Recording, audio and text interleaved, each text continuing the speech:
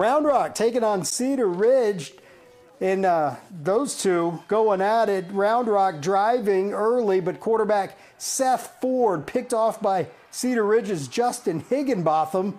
That's going to lead to a 12 yard touchdown pass from Joaquin Sandoval to Matthew Brooks. Refs say he is in bounds, seven zip. Second quarter, Sandoval with the 19 yard touchdown strike to DJ Roundtree, 13 2 after a blocked extra point was returned.